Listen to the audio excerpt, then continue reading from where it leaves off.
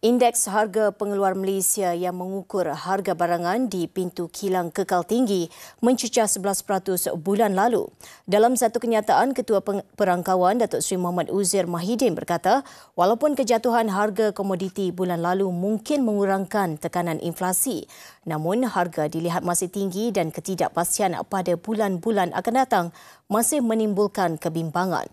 Peningkatan ini susulan indeks pelombongan yang melonjak 18.4% berbanding 28.2% yang dicatatkan pada Mac.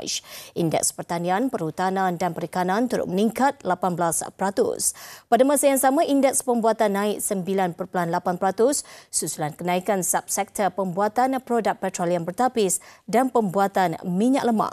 Indeks bekalan elektrik dan bekalan air masing-masing juga naik sedikit pada 0.7 dan 0.2%. Sementara itu, indeks bahan mentah untuk diproses terus menunjukkan peningkatan pada 17.1% pada April berbanding pada Mac.